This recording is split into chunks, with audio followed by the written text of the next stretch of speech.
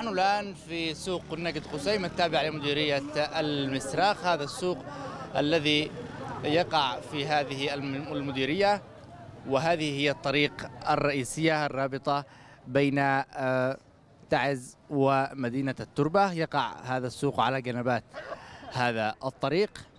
يشكو الناس هنا من التراب الذي يتعرضون له مع مرور السيارات واستمرار حركة السير ليل نهار إثر حركة التنقل المستمرة في الشريان الرئيسي لمدينة تعز تعرضوا للخسائر إثر تلف بضائعهم من الخضروات والفواكه التي يعرضونها للبيع كما أنهم يتعرضون للإصابة بالأمراض إثر كميات الغبار الهائلة التي يتعرضون لها بشكل يومي نتيجة توقف أعمال الإصلاحات في مشروع صيانة وإعادة تأهيل آه، طريق تعز التربة.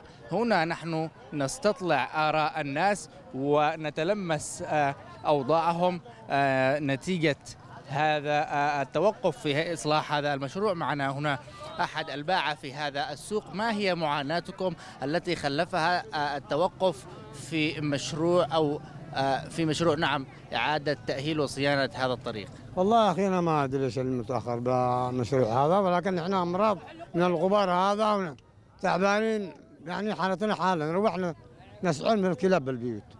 تعبانين من الغبار هذا أمراض.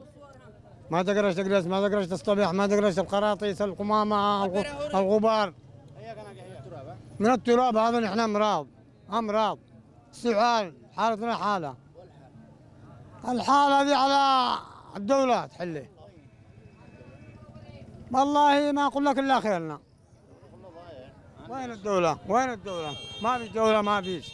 شكرا جزيلا. إذا هذه آه، بعض شكاوي الناس هنا في هذه المنطقة وهي آه، شكاوي متشابهة للسكان على امتداد هذا آه، الطريق. الآن بعد أن عادت بعض أو بعد أن عادت أعمال الصيانة في بعض أجزاء الطريق ما تزال هذه الأجزاء متوقفة آه، عن العمل آه، إثر عدم آه، عودة نشاط الإصلاحات فيها. هناك دعوات مستمرة للمواطنين لاستكمال هذا المشروع. لا يتمنون أن, أن تلقى هذه الدعوات المستمرة استجابة سريعة من قبل الجهات المختصة. أيمن قائد يمن شباب تعز.